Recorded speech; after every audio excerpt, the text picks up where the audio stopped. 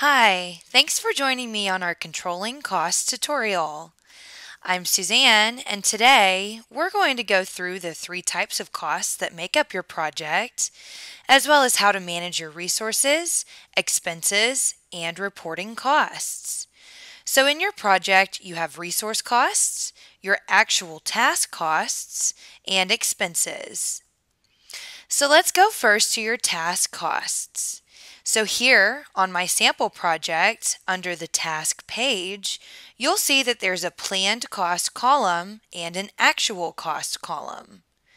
If these aren't showing for you, of course, you can just click on the title bar named Columns here and you can select to show those columns. These are entered manually by you. So you would enter the planned cost for each of your tasks in this column and then the actual cost of that task as it occurs.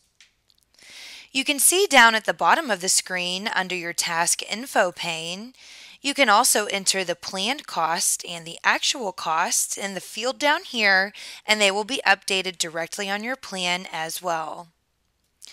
The second type of cost on your project is an expense. You access these under the Expenses tab in your project here. These are individual expenses for your project. You see some examples here from contractors to lunch. You simply create a new expense by clicking New, add the details, giving it a type which you can customize. If you want to assign this to a task, you simply select Task. That will bring up all my tasks on my project and I can select which one to assign it to if you have a task specific expense versus an overall project expense. Then you enter the date, amount, as well as if you want to name who this expense is assigned to. This can be a planned or actual cost, and you can, of course, create this as a recurring expense, like possibly a lease for a piece of equipment. You can also amortize the cost of an expense across the length of your project. Lastly, you might want to add a receipt or other type of document to this expense, which you can do so by clicking Add File at the bottom. So I'll close that out and go back to the task page. Probably the biggest expense on your project are your resources. The cost of resources is made up by the hours that they work and their hourly rate. You'll see here on my tasks I have actual effort. Again, this can be manually entered by you directly into the task sheet here or when your users are entering timesheets, as well as if you're entering them on your resources behalf. Let's look at the My Home task screen where you can also enter your effort per task. The information here will flow through to your task page.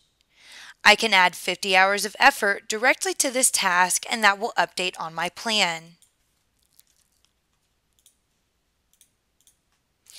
If you have a look at the resources under the All tab, you'll see that each of them has an hourly rate that is used. You can change this at any time. It will apply to any reporting you pull on your project, as well as if you leave it blank, then your project default hourly rate will apply. If all of your resources are going to cost the same amount, you might just enter that amount at the Project Info tab. Let's have a look at the project dashboard to see what the budget plan and actual reporting looks like. So you'll see that's under the cost graph here, which reflects your budget.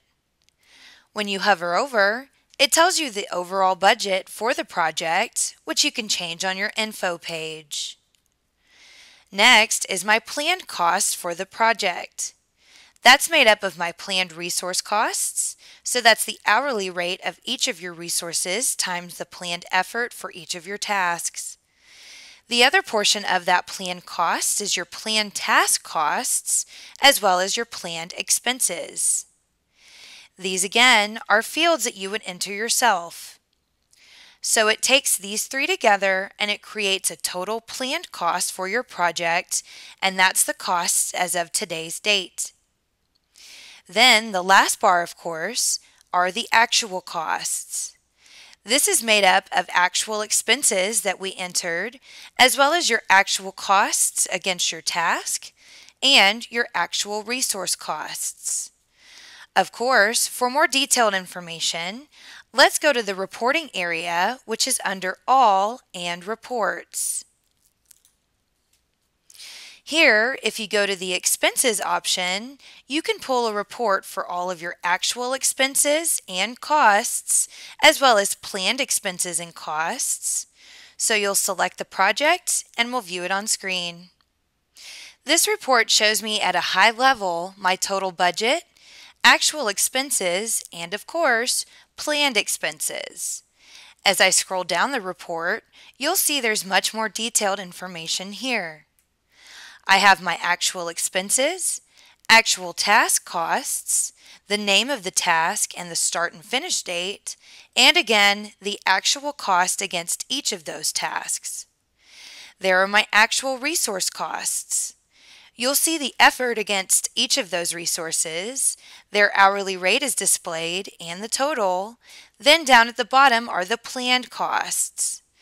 This is what I planned each of those tasks to cost as well as my planned effort and resource costs there. This report is very handy. You can view it on screen like we did, share it via email, download a PDF, or export to Excel.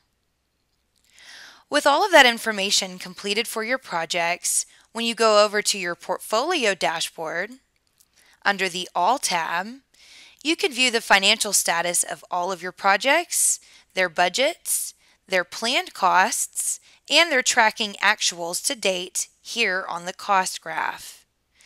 Of course, as always, you can click straight through to the information on that project just by hovering over and then clicking on the icon.